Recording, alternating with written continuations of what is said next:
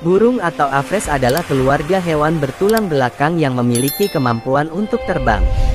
Beberapa burung bahkan memiliki kemampuan terbang yang luar biasa dari segi ketinggian, kecepatan, kelincahan, bahkan ketahanan. Tahukah kamu burung yang tercepat di dunia? Jawabannya adalah peregrine falcon atau elang peregrine. Peregrine falcon adalah predator yang memburu burung lainnya. Misalnya burung merpati, jalak, camar, kolibri, ikan, hewan pengerat, dan juga kelelawar. Dilansir dari All About Bird, peregrine falcon memiliki panjang 36 hingga 49 cm, berat 530 gram hingga 1,6 kg dan rentangan sayap 1 hingga 1,1 meter. Elang peregrine sedikit lebih kecil dari bebek, mungkin seukuran burung gagak namun memiliki sayap yang jauh lebih besar. Peregrine falcon atau nama latin, Falcon peregrinus atau alap-alap kawah merupakan burung pemburu yang memangsa burung lain.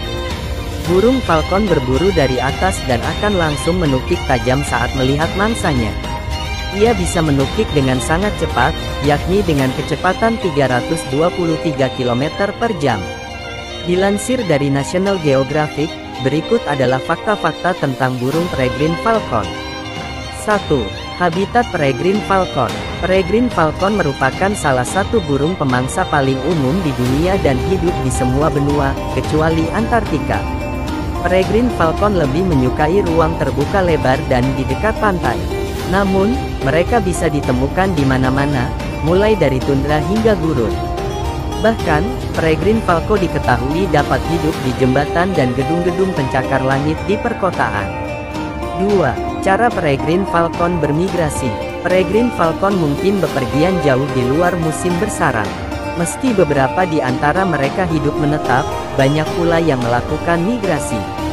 Peregrine falcon yang hidup di tundra Arktik dan musim dingin di Amerika Selatan akan terbang sejauh 15.500 mil dalam setahun.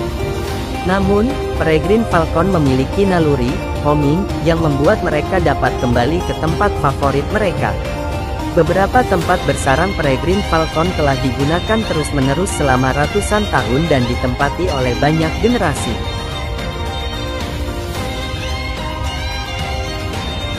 3.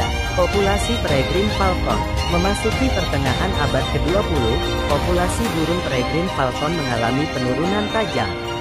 Bahkan, di Amerika Serikat, burung ini jadi salah satu spesies yang terancam punah. Sejak saat itulah, burung peregrine falcon dilindungi dan dikembangbiakkan agar jumlahnya tidak semakin menurun. Untuk saat ini, populasi peregrine falcon mengalami kenaikan dan bahkan lebih banyak dibandingkan populasi yang ada di abad ke-20. Kenaikan ini tidak hanya di wilayah Amerika Serikat, negara-negara lain juga berhasil menjaga keberadaan burung-burung ini. 4. Perkembangbiakan peregrine falcon. Untuk membuat sarang, Peregrine falcon tidak menggunakan ranting atau dedaunan kering. Tapi, mereka menggunakan cekungan dangkal yang ada di beberapa batu sebagai sarang. Perkembangbiakan peregrine falcon bisa menghasilkan 2 hingga 4 telur sekaligus. Induk peregrine falcon akan mengerami telur selama satu bulan hingga telurnya menetas. Setelah menetas, anak peregrine falcon akan tetap tinggal di sarang selama enam minggu. Lalu, mereka pun akan belajar bagaimana caranya terbang dengan baik dan cepat. Nah, itulah keempat fakta-fakta mengenai burung peregrine falcon atau alap-alap kawah. Alap-alap ini adalah burung pemangsa dan bisa tinggal di mana saja kecuali Antartika.